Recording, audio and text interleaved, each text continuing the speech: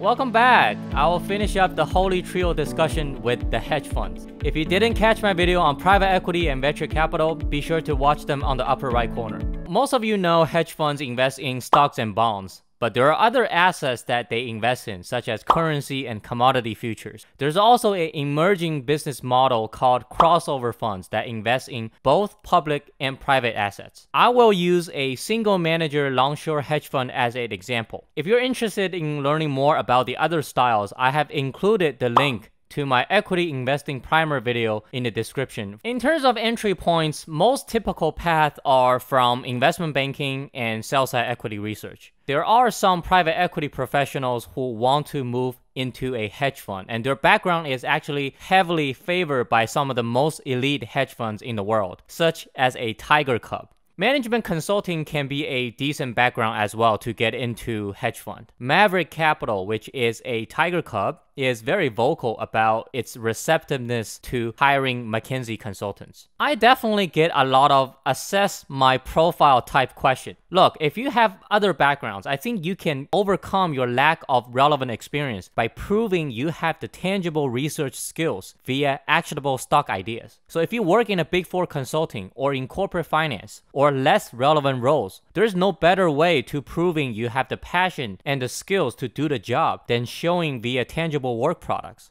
Hedge fund org structure is very flat. As a research analyst, typically you have no idea generation responsibility. Your portfolio manager or senior analyst will give you ideas to look at. Well, of course, if you have ideas that you think fit your firm's style, by all means pitch it to them and see how they respond because that's eventually your responsibility anyways. The goal of your day-to-day centers around forming a view on whether the stocks you're looking at are a buy, short, or a pass. So your day-to-day is to read, do financial modeling, talk to people, and that means expert networks, sell-side analysts, company investor relations, company management, industry contacts, etc. In this profession, you're not gonna get a lot of directions, which is good or bad depends on your work style. The typical instruction will be, hey Richard, take a look at this company. Let's catch up later this week to talk about what you think. And that's all. That's all the instruction you're gonna get. And that's why they don't hire straight out of college because you are expected to have baseline skills and a process to get to a conclusion without much guidance. And then there's maintenance work. Over time, hopefully your PM will buy or short stocks that you have looked at. You will be responsible for following news and big movements for those stocks and provide timely updates on the thesis to your PM. And then you progress to senior analysts. They still research stocks, but they can delegate some of the data gathering and analytics to the junior analysts as they are more focused on generating ideas and pitching them to the PM. If you are consistently making money for the PM as a senior analyst, you progress to portfolio manager, likely not at the current firm, but somewhere else. All the stock picking funds portfolio manager started as a research analyst. So they could be working on ideas on their own as well. But also they listen to the idea pitches from her team and decides whether and how much capital is put behind those ideas. She's also responsible for risk control, position sizing, and deciding net exposure, factor risk, how is the portfolio constructed based on her view on the macro outlook. Finally, she represents the firm in fundraising and manages the non-investment people as well, and that will be the CFO, head of IR, etc.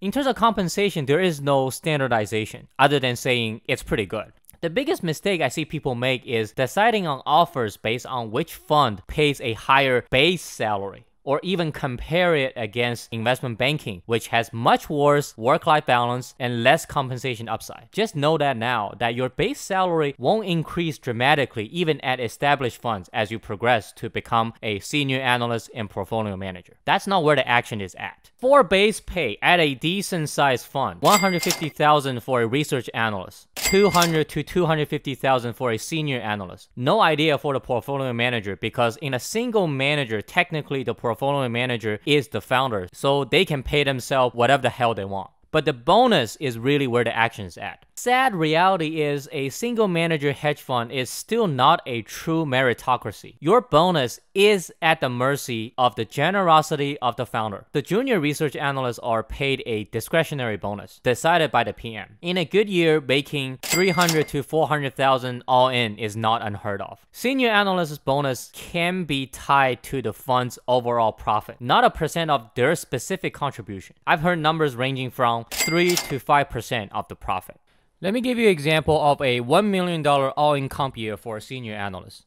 Assume the fund has $1 billion asset under management with a 220 fee structure and a fund generated a 10% return for the year. That means $100 million of value creation to the LPs, for which the fund makes a 20% performance fee, resulting in a bonus pool of $20 million.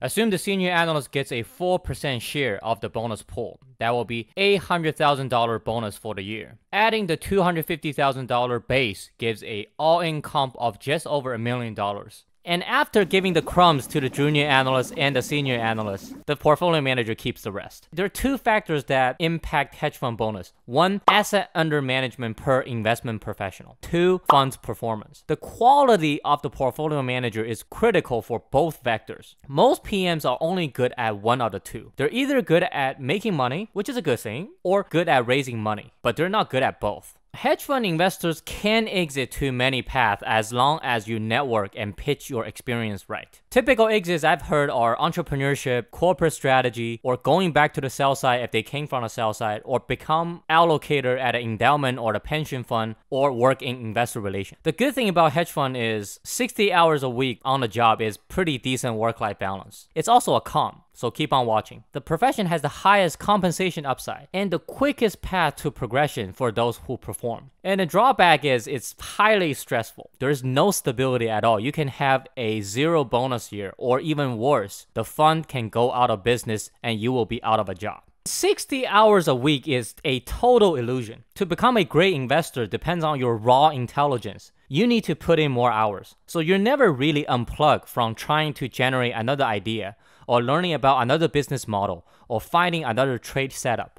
And finally, public equity investing is secularly declining, and that includes hedge funds. Most of the institutional investor money is flowing into either private equity or venture capital or whatever's not invented yet, but it's not hedge funds. If you want to go from hedge fund to venture capital, First, you should be covering high growth sectors to have a shot. You can try to land at a public equity role at a crossover fund and see if you can network into the private side. If the fund is organized where the public and privates are siloed as their own teams. Or you can network yourself into a VC fund, but it's unlikely to be Sequoia or Kleiner Perkins. Getting into private equity will be very difficult. It's not a two-way street between hedge funds and private equity. Without investment banking experience, you lack the transactional knowledge that is beyond just researching the business or making a call on the valuation. You can network into investment banking and try private equity after doing IB for a few years. Or you can try doing an MBA and then do IB associate and then try private equity after a few years. Every optionality here is predicated on you having real IB work experience. If you found this helpful, please hit like, subscribe, and hit the bell icon for future contents. I'll talk to you next week.